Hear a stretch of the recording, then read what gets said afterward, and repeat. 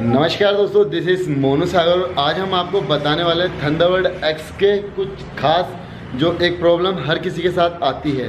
तो आज का जो मेन टॉपिक है, वो यही है कि अगर आपके पास थंडरबर्ड एक्स है और आपने नई नई खरीद रखी है और आप एक छोटी सी नॉइज़ को लेके परेशान हैं तो उसका सोल्यूशन क्या है, वो आज हम इस वीडियो में कवर करेंगे। मेक श्योर आपको वीडियो पसंद आएगी।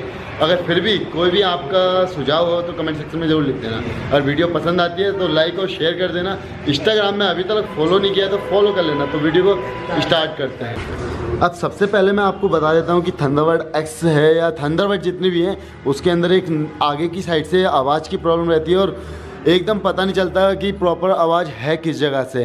और इंसान काफ़ी परेशान हो जाता है नई नई गाड़ी लेता है और एक हल्की सी भी साउंड रहेगी तो उसमें परेशानी आ ही जाएगी, कोई भी हो। ठीक है? तो वो साउंड रहती है हमारी टंकी के पास से। सीधी बता देते हैं कहाँ से टंकी के पास से। एक बार मैं खोल के दिखाता हूँ कि इसका सोल्यूशन या करना क्या होता है आपको।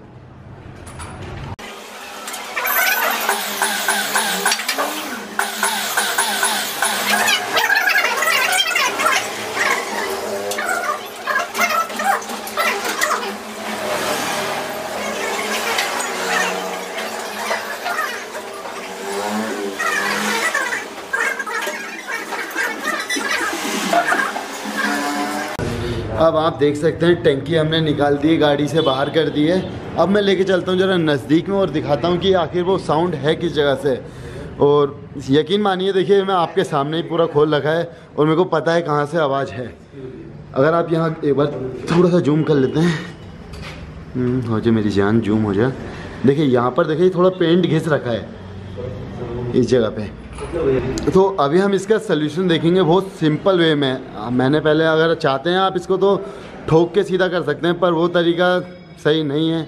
दूसरा तरीका देख लेते हैं क्या है। इसके लिए हमें इस रबड़ को बाहर निकालना है। एक बार इस रबड़ को बाहर निकालो। इस रबड़ को बाहर निकाली।